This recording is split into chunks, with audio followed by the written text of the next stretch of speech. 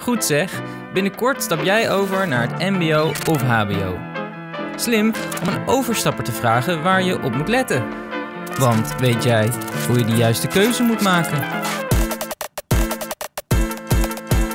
Hey, wie ben jij?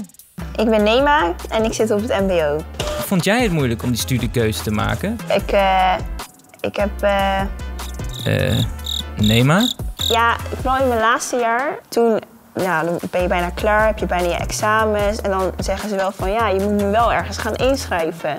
Je moet nu wel eh, een beetje weten waar je naartoe wil gaan. Maar ik had geen idee. Ja, ik wou eerst eh, militair worden, politie, regisseur, moordzaken.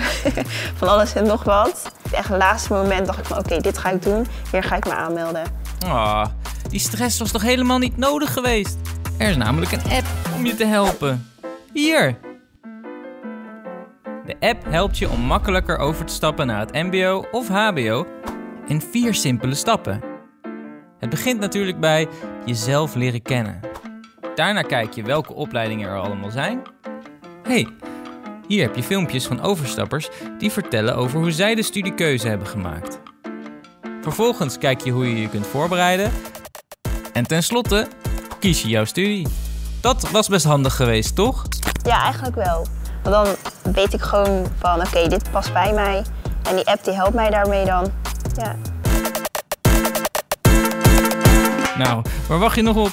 Race naar die App Store en download die Overstap app. Overstep. Over, wat is het?